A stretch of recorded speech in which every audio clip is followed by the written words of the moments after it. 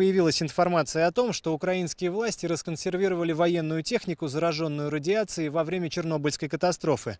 Так это или нет, мы приехали разобраться сюда, в Донецкую Народную Республику, где недавно была разбита очередная колонна украинских войск.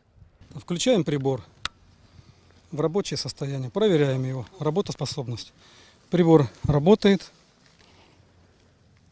ставим проверочный режим и начинаем двигаться по движению к направлению танка.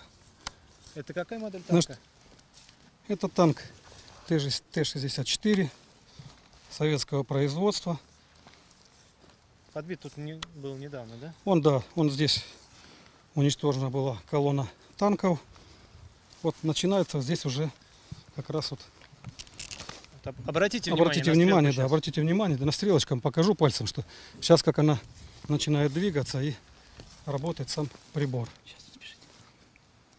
Вот я уже уже слышу щелчки. Сейчас переключим в этот режим. Вот теперь Вот затрещало явно, даже. да, затрещало. Видите, у нас уже подходя к танку,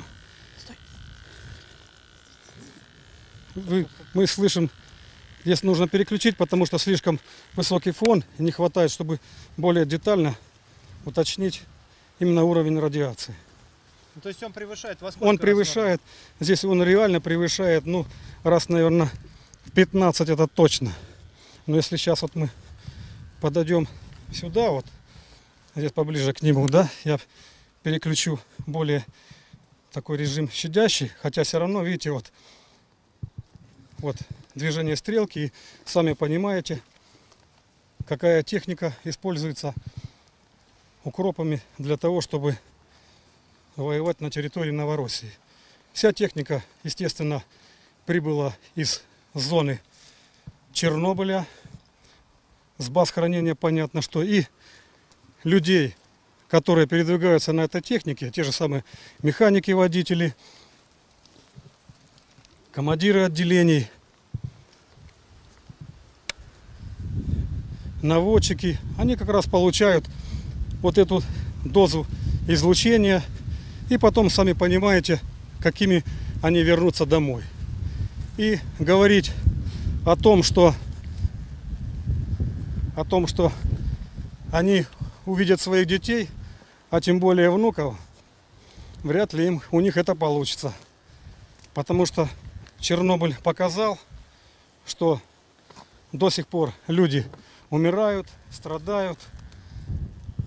Вот, вот видите вообще, вот в этом месте шкала просто зашкалила. Как вы понимаете, находиться рядом с этим танком долго просто опасно для здоровья, поэтому мы будем медленно отходить.